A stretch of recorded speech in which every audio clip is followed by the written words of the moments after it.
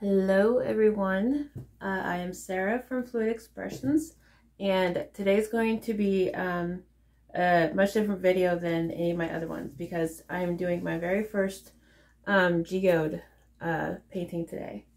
And so I'm really excited. Um, I have, uh, I'm working on a 12 by 12 uh, gallery wrapped canvas with the deep edge and um, I am going to be putting some crushed glass in this.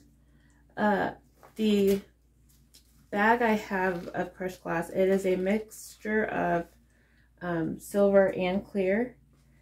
And that's mostly what I want, but I do want some blue ones.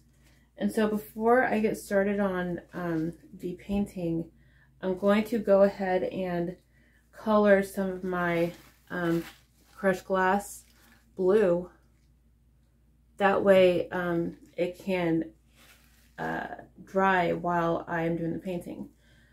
Excuse me. And so let me get this out of the way. Now, if you don't know how to color crushed glass, I'm going to show you, and it's very, very easy. Um, all you need is some alcohol ink. And the kind that I'm using today is um, called Glacier. Okay. I got it at Joann's. Um, I've also seen these at Michael's, I think. No, Hobby Lobby. Maybe Michael's too. I'm not sure. I'm at Joann's a lot. Okay, so I'm going to first pour from the bag into a cup um, the approximate amount of these I think I might be using. I think I might need. So, and if I do too much, then that's fine too, because then I have some already colored for later.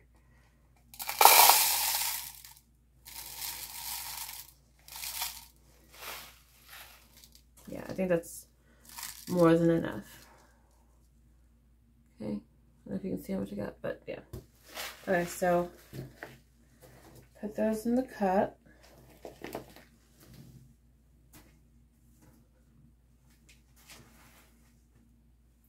Um, and alcohol ink dries really, really, really fast. So, um, that is one nice thing about how I'm choosing to color these. Plus, it saves you money if you do it this way, as opposed to having to buy um, broken glass or crushed glass of like a bunch of different colors. You can just buy it in clear or silver or whatever and color it yourself. And plus you can um, do it this way. You can also mix colors and make your own colors, you know, similar to mixing paints and making your own colors that way. Um, so it's just really a smart way to do it all around, if you ask me. okay, so um, it doesn't take a lot. I'm going to put, let's see,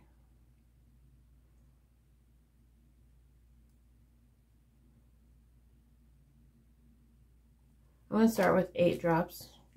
I'll do 10. Okay. And then I'm going to take a stir stick and just mix it, mix it all in.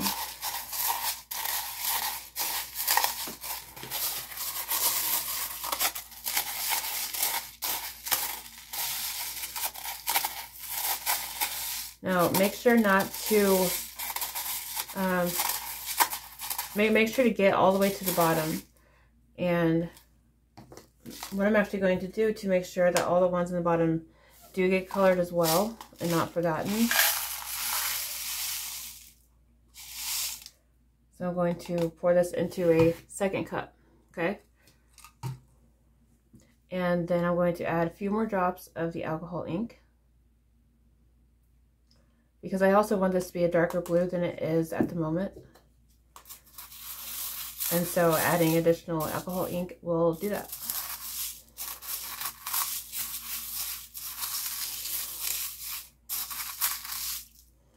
And now I'm going to transfer to the other cup.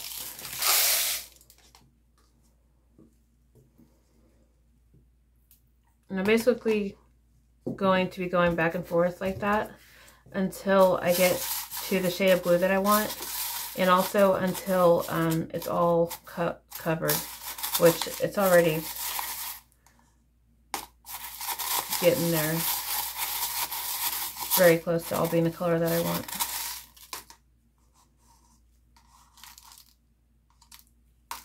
This is really pretty.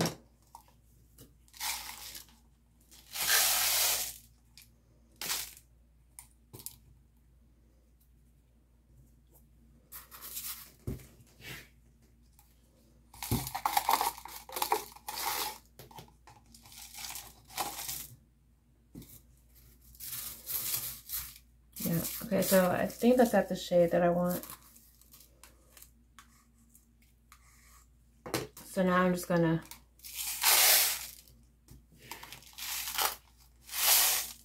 do this a couple times to make sure they're all covered, which I believe they are. Paper towel was stuck to my elbow.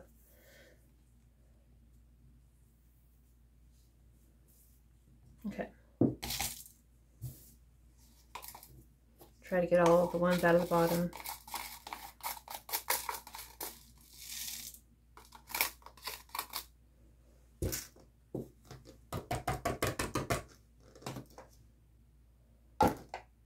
That's really pretty. Okay. And then after they're all colored, you'll want to in order to let them dry, I think it's best to lay them out on a towel.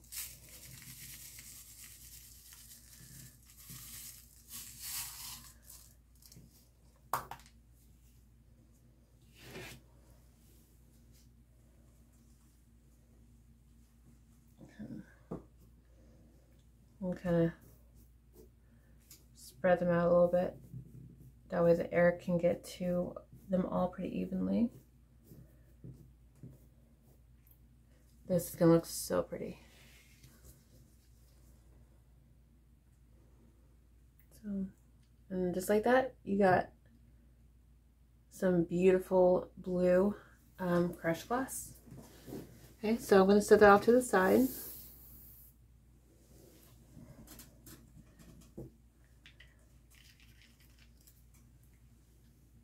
And bring this back.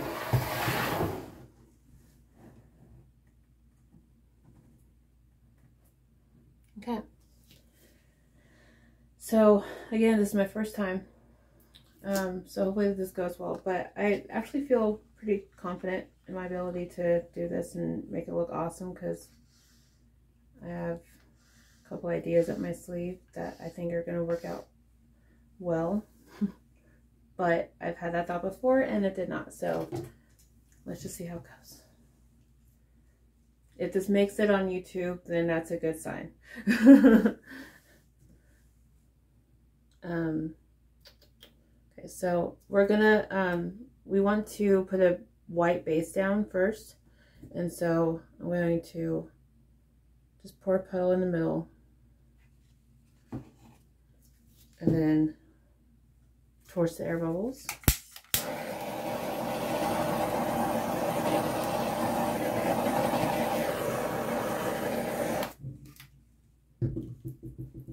then I'm going to tilt it around. I'm probably to need a little bit more paint on that, but that's okay.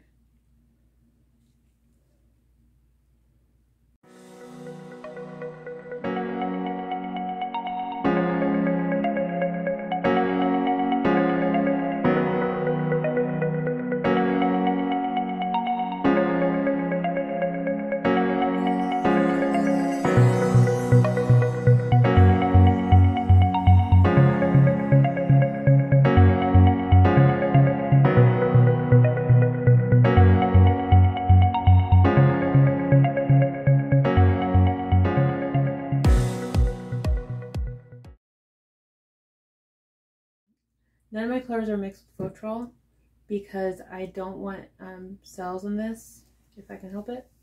And so all my colors are mixed with um, Liquitex pouring medium or uh, just Liquitex gloss medium. So I'm going to start pouring my colors in a puddle in the middle, starting with black.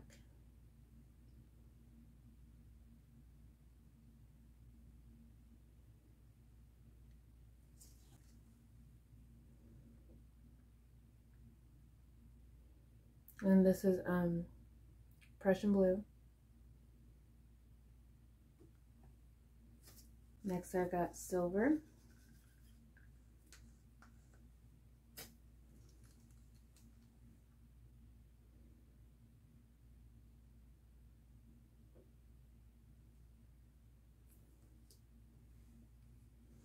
And to keep it from dripping where you don't want it to, you can just stick your finger underneath it.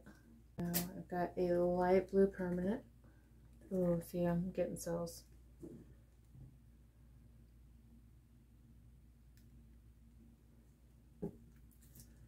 Um, this color is actually, um, it's a, it's a gel stain.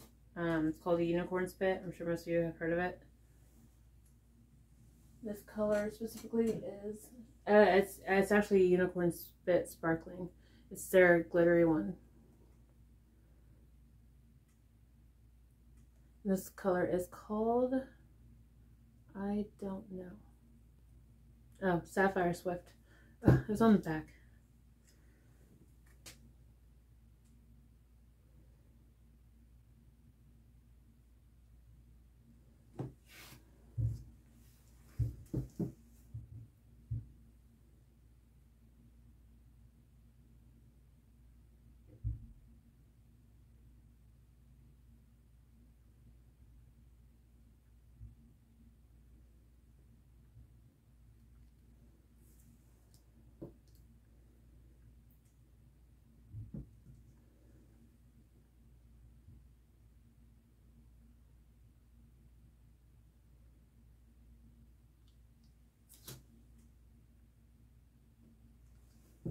Okay. And then I think I'm going to do a bit of white.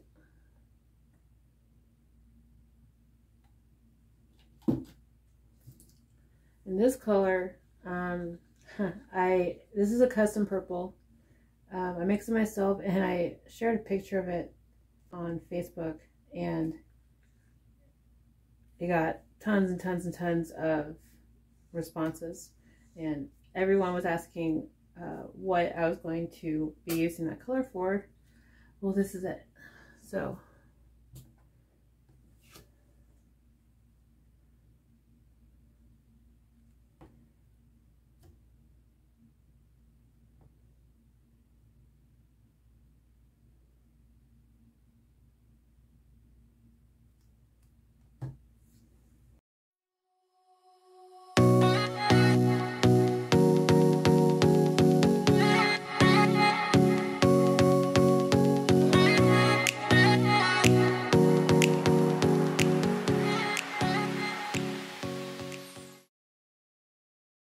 almost forgot.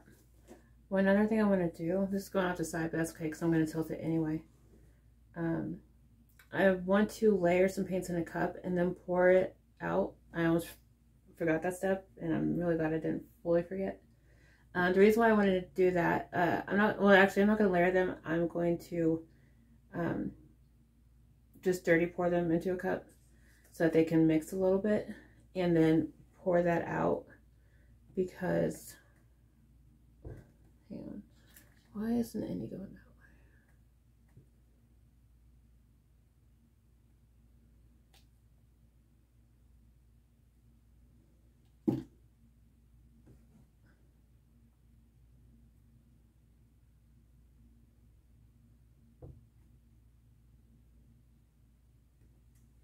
that way? Um, that way it will, these won't just be solid lines of color. Um, it can have some like striations.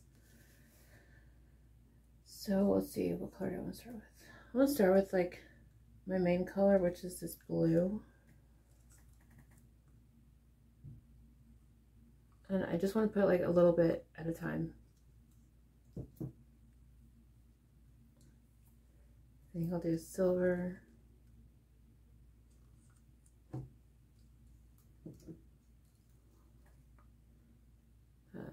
purple. It's amazing. Like,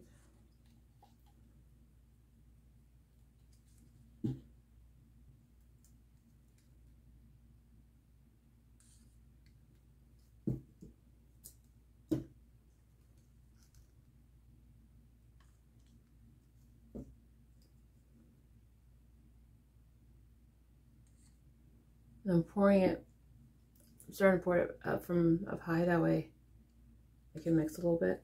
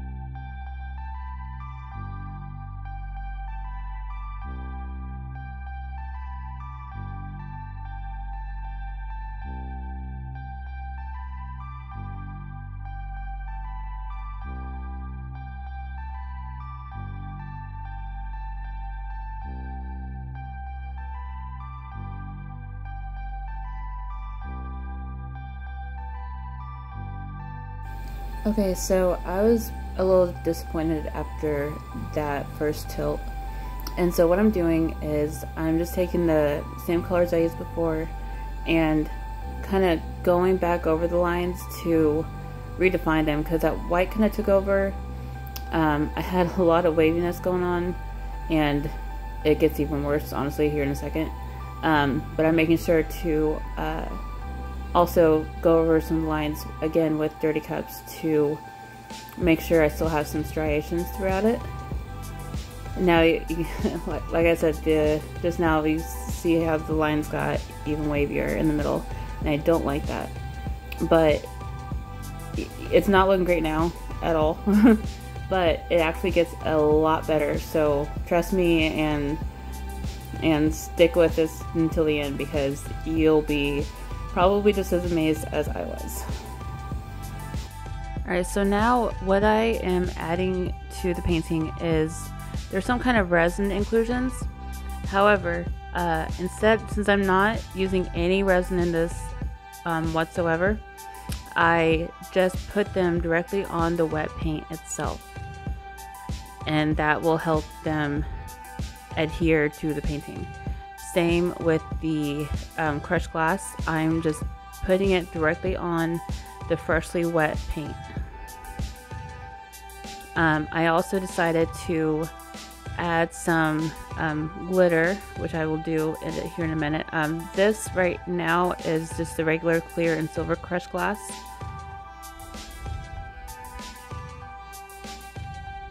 And I'm making sure to after I pour them to kind of pat them down um, into the paint a little bit. Uh, now here is some uh, black glitter. Oh, it's more like a charcoal color. It's not solid black. And then that is some white glitter. And here is some blue glitter. And I'm, uh, I'll do the same with the glitter as I did with the resin inclusions and the crushed glass is I kind of pat them down into the paint. And it's it's very important to do so. And that there was just some more resin inclusions, that some more crushed glass.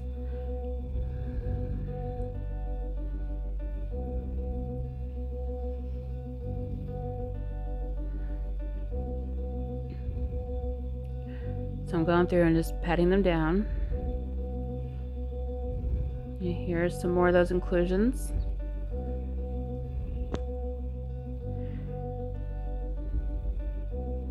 And then what I'm doing now is I'm taking some of that unicorn spit wood gel stain and um, putting lines of it directly uh, from the bottle.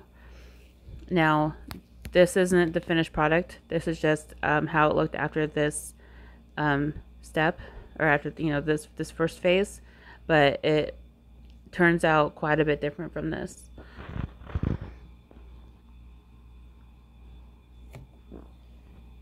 But I made sure to do a close up of this part. Um, that way you could see, um, you know, step-by-step -step progression.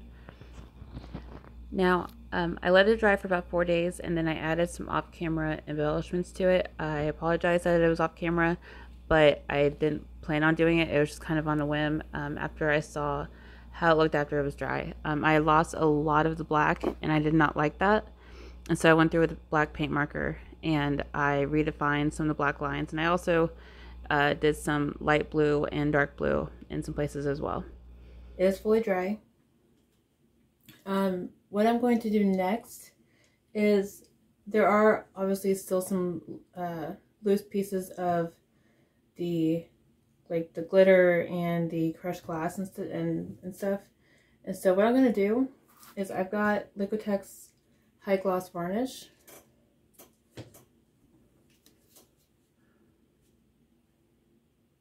Never wants to focus.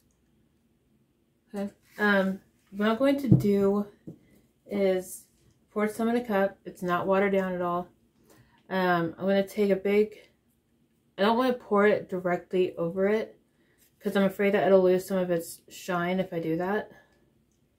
And so what I'm going to do is just to help kind of lock the loose pieces in place, um, take a stir stick and just kind of drizzle the varnish over it. And hopefully it'll have, it'll make it stay similar to uh, if I was using resin.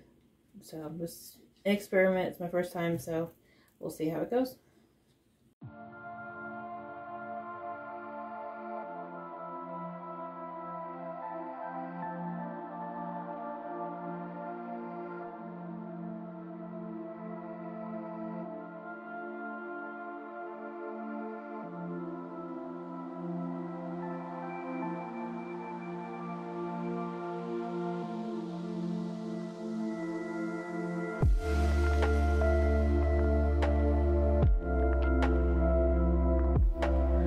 Alright, so now what I'm doing is I'm taking that high gloss varnish and filling in the rest of the spaces in between um, all the things that are adding texture to it to make sure that the rest of the piece gets varnished as well. So, and I'm using my hand or my finger to um, help spread it around since that's really the only way to um, do it with all that um, those textured pieces getting in the way um, but it worked really, really um, effectively. Now, this may sound kind of weird, but at this point, it still kind of lacked um, life, so to speak. And what I mean by that is, I really wanted that crushed glass to kind of have a twinkle to it, and it did not. So, what I did to remedy that was I added this special polyester glitter, which is actually like pretty dusty, um, and put it over um, pretty much everything that had texture and then by itself in the bottom left corner there. And it really made all the difference. And I love the way that it made it look in the end which you'll see that now um, from like the flash of my camera. It gave it so much life and it just it's so twinkly now. And that's what I really really really, really wanted. And it stuck to that wet um, high gloss varnish that was um, already on it very, very well. And I didn't even need to put more varnish over the glitter. Um, I got the glitter from Michaels, if anybody is interested. It was in the section by like the uh, stationery type stuff. But this is the um, final and dried result. And I recorded this also outside to make sure that the lighting was the most accurate and the colors were true to color. So please let me know what you think. This was really fun. Thanks for watching.